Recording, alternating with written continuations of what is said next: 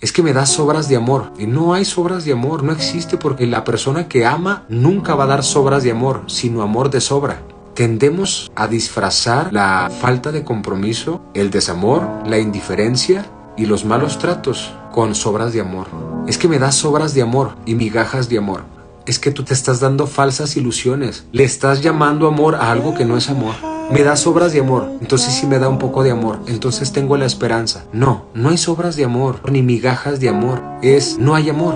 Te está demostrando a través de esa forma que no te ama que no te quiere, porque quien tiene amor en su corazón ofrece amor en cantidades que desbordan. No hay sobras de amor, no hay amor.